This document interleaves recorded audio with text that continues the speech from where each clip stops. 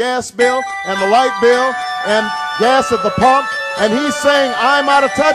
Do you think I'm out of touch, or do you think he's out of touch?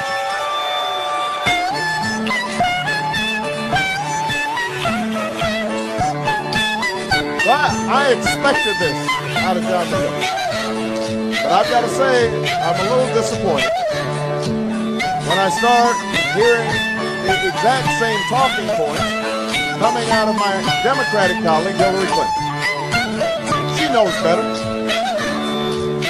She knows better. Shame on her.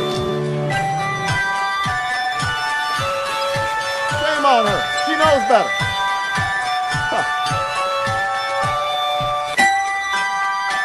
She's running around talking about how this is an insult to sportsmen. She, how she values the Second Amendment. She's talking like she's Annie Oakley.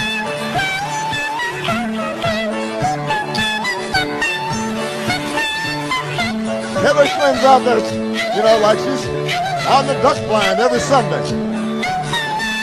She's packing a six shooter. Come on. She knows better.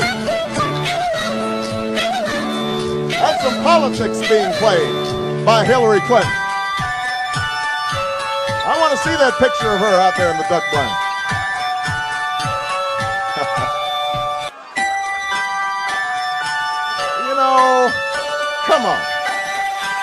When, when, when Hillary Clinton says I'm out of touch, I, I just have to remind people of the track record.